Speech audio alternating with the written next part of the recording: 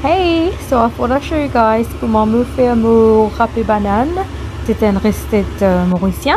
Alors, j'ai besoin quand on trouve ce de banane jusqu'à livrer sa couleur là, noir noir un petit peu. Après, je mets de l'huile chaude, je de moutarde un petit peu. Um, oignon.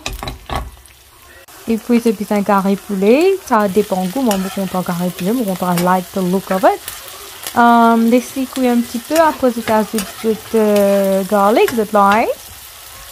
L'ail, là, suis content mettre un petit peu de um, because ton envie brûler.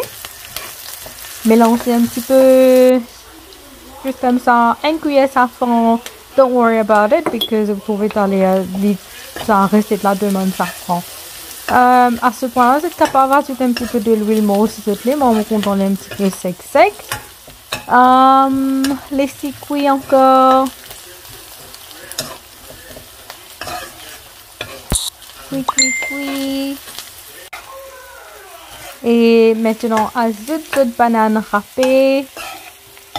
Mélange bien.